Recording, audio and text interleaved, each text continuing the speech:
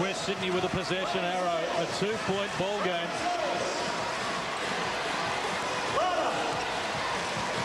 Twenty-three points to 20 in favour of West Sydney in that third period. So they've won two periods. Wollongong has won one so far, but Wollongong leads. Darnell Mee in over the back of Simon Dwight picks up the foul.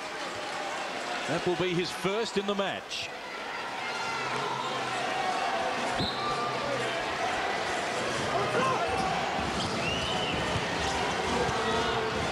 Rillie, turn around against Matt Campbell. Knocks down another.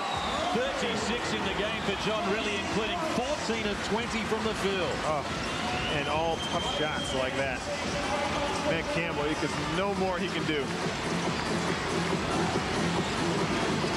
Ties it away. Glenn Saville playing with four fouls. Fires unsuccessfully. Rillie and McKinnon between them working hard to grab the rebound. A chance for them to retake the lead. This Hinder from close range. Does just that. West Sydney and hopefully get another crack on Wednesday from their perspective. Sydney Kings wouldn't mind this going to a third game either as Simon Dwight throws down the dunk.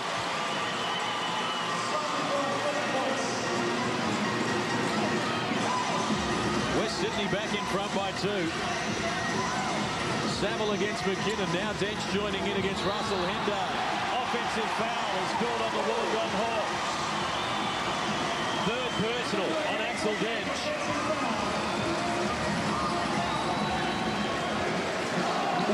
Russell Hinder with a good job of sliding right there. Excellent defensive play.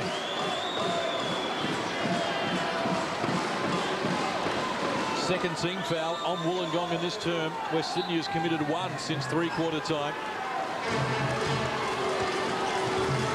John Rillie, a memorable performance. Goes to McKinnon. Now Dwight elevates from the foul line and knocks down the shot.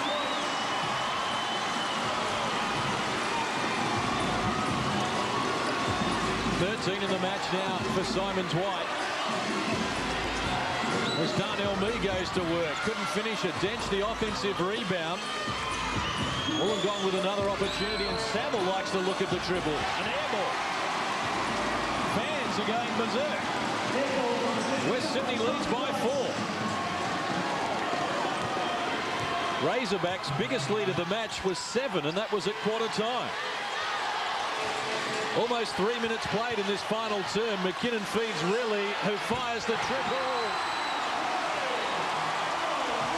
Oh, boy. Here they have it. Ball's down. You got it, missed with Axel's man. Let's go, fellas. The start of this term from West Sydney has them in the driving seat at the moment.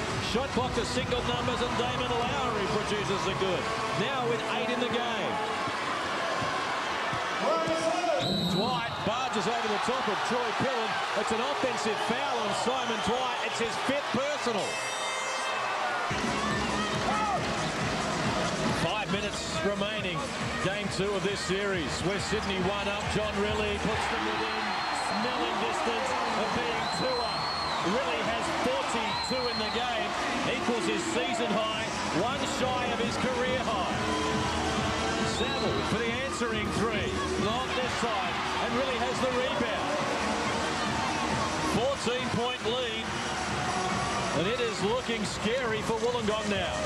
Wollongong will either get back in it or they're going to get blown out. They got to have that go, though. Fouls on Lowry. Free throws to come for Stephen Markovic.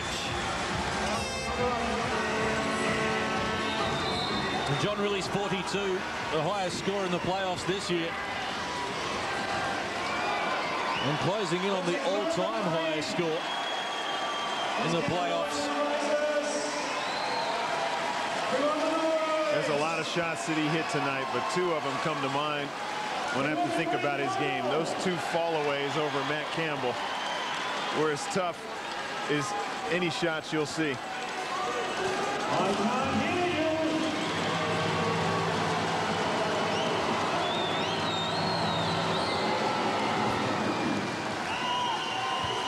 Considering he had 42 against a team that prides himself on their D. Great individual defenders too. Darnell Mee, Matt Campbell been trying to slow John Rillie down, but to no avail tonight. 10-point ball game. Pressure on John Rillie. Needs help. Aaron Trahair got it over the halfway line with seven of the eight seconds gone. Now the shot clock is down to 10. Trahair with five on the shot clock. Doesn't matter what type of shot they get if they actually get one. It's Trahair's running left-hander that rattles off the glass and tumbles. They can do it all. 12 is a margin. Ben Knight for the triple. Knocks it down. Ben Knight gets his team back to within nine. We move inside the last 60 seconds and Russell Hinder is fouled too. They lead by 12 here as Darnell Mee goes coast to coast. Not Russell Hinder over. It spills to McKinnon. Now Trahair. John Rillie for a career high. Turns down the shot. It's not about the individual for John Rillie. If it was about that, he would have had 60 by now. He just wants it to be over. Against Ben Knight, pulls the trigger, deserves it.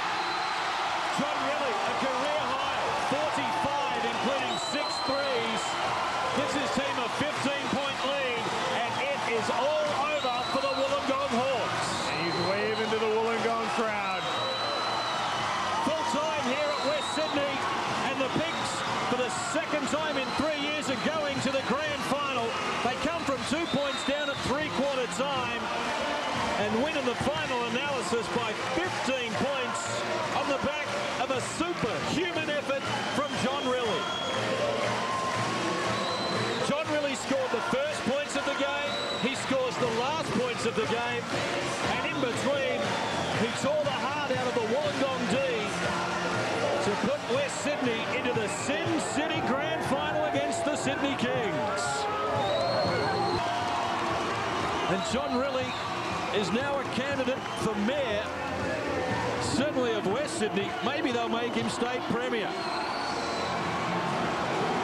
He top scored in the game on Friday night with 25 points. He leads all scorers again here with 45 points.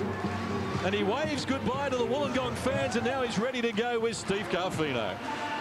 Well, John, I guess you didn't want that two at the end of the game. 45 big ones. Couldn't have come at a better time. Oh, hey, this is a time of the season you want to be playing well, but at the same time, there's nothing to lose right now, so go out and give it a go. You guys had a great game. Wollongong gave you everything that they had, but you had all the answers tonight. Got the stops when you needed them, and you guys continue to hit the big shots when they were trying to get back in the game. Yeah, 60 points was just too much for them in the first half, but they, they got a lot of scrappy points, which they're renowned for, and we cut that out in the second half, and they uh, struggled to score. How do you guys feel? You look like you've gotten better every game in the playoffs. Uh, slowly but surely we're gaining a bit of momentum. We hicked up at the end of the season, but now we're on a roll again, so let's see. I know you'd like to beat anybody to be the NBL champions, but I'm sure it'd be even sweeter if you beat your crosstown rivals. Uh, right now, they're not the crosstown rivals, they're the defending champions, so uh, we're aiming for that, so let's, no one needs to say anything. It speaks for itself, this series.